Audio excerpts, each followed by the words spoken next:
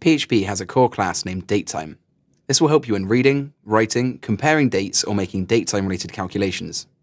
There are many date and time related functions in PHP besides the datetime class, but this provides a nice object oriented interface to most of the common uses. So let's start off by opening index.php.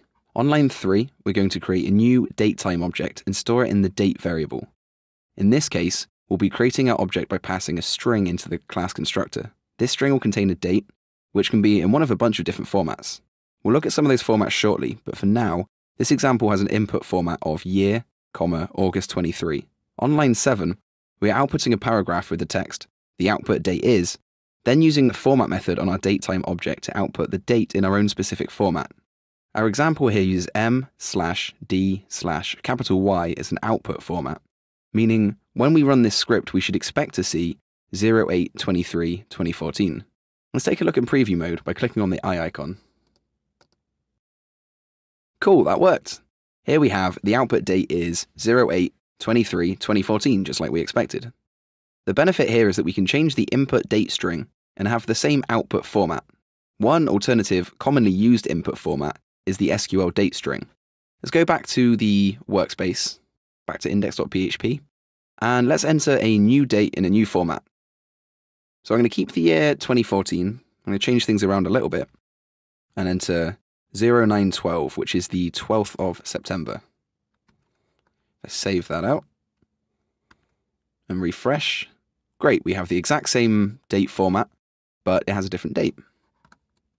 If we hop back to the workspace, we can get a little bit more adventurous with initializing datetime objects using string offsets. We can change the constructor to take a string starting with a plus or a minus. Then we add a number of units and define the unit with the words second, hours, days, weeks, months, or even years. So if we enter plus two weeks and have a little look, see what happens there, then we will have an output which is two weeks from now. Brilliant. You can jump forwards using more human friendly phrases too. We can change this string to contain phrases like next week or tomorrow. So let's have a go at that. Next week. Perfect. Tomorrow. There we go.